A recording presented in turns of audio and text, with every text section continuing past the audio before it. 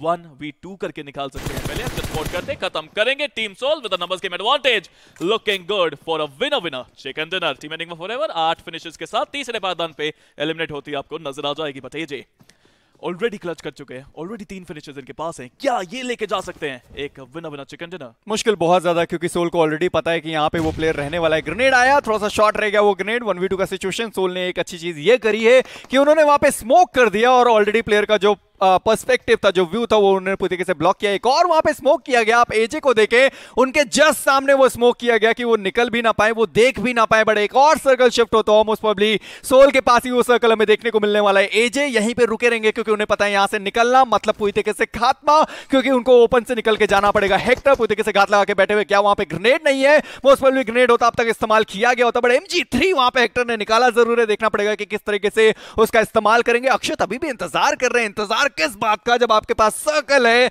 जे बिल्कुल, आप इंतज़ार करना ज़्यादा सही समझेंगे। ग्लोबल स्पोर्ट्स उनके पास सर्कल नहीं बट हेक्टर जस्ट अभी फ्रेश उन्होंने लेवल थ्री का हेलमेट वेस्ट उठाया मौका उनके पास ज़्यादा। देखिए एजे को पता है वहाँ पे प्लेयर है नोजल उनको वहाँ पे देख चुकी है तो देखना चाहूँगा वो किस तरह से उस पर आक्रमण करते हैं बट उसको वेट भी करा जा सकता है। अक्षर की पोजीशन काफ़ी शानदार आपको देखने को मिल जाती है।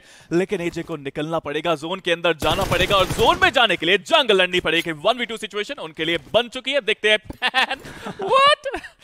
दोनों तरफ़ लो एक और पेन लोहा दोनों तरफ़ दोनों दोनों तरफ़ गर्म आपको देखने को मिल जाता है माफ़ कीजिएगा बट एजे क्या डिसाइड करने वाले हैं? क्या वो वन वी टू के लिए जाने वाले हैं? पोजीशन उनको पता है एक प्लेयर की बट जोन का शिकार वो हो सकते हैं। हील एक फ़र्स्ट एड उनके पास है तो करा जाएगा। शायद जोन का शिकारी होते नज़र आएँगे आपको। जी बिल्कुल। फिनिशेस वो देना नहीं चाहते और इसी के साथ हमें लगा था बहुत ज़्यादा गर्मा गर्मी यहाँ पे होने वाली है बट नहीं बहुत ही ठंडे में ओके यहाँ पे जो पूरा मैच था वो यहाँ पे खत्म हो गया। पहले हमने पैराडॉक्स को देखा उन्होंने अपने फिनिश नहीं दिए वो भी प्ले जोन